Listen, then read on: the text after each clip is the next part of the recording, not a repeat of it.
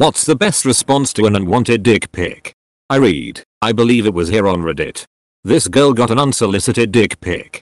So for her revenge, she sent back dick pics back constantly. Big, small, black, white anything she could find. This guy was telling her to stop, lol. She asked if he liked it. Make a screenshot and send it to him. When he sees it you say oops wrong person. Why does it look like that and answer none of their following texts? Oh hey, my ex had that disease too. Was take their profile picture and photoshop their face onto the head of their dick and send it back. I never got a second dick pic doing that lol. Circle a random part and say what the fuck is that? They'll start to freak out and get worried. It's worked out for me lol. Reported for possession of child pornographic materials. The last time I got an unsolicited dick pic, the guy asked if he could see mine.